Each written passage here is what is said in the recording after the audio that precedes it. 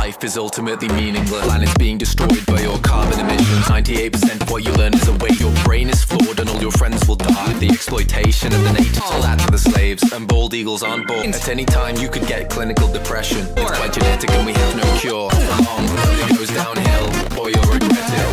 Now, some people have learned. Banks can crash and capitalism is flawed. A thousand advantages you looked into at birth. Good thing you don't have a black person's name. The shrinking middle class is outsourced to China empty with nothing to distract from it. Neither of those will make you happy. Trust me, you're a slave to people born richer than you. No.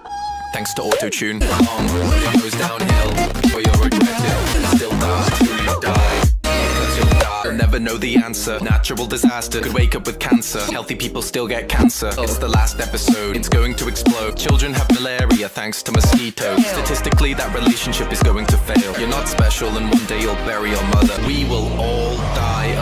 There's no escaping the heat death of the universe. Yeah, that's fair. Yeah, that seems reasonable. Whatever, man. I don't know. Live your life how you want. I'm not forcing you to do anything. I'm just saying. Enjoy it while it lasts.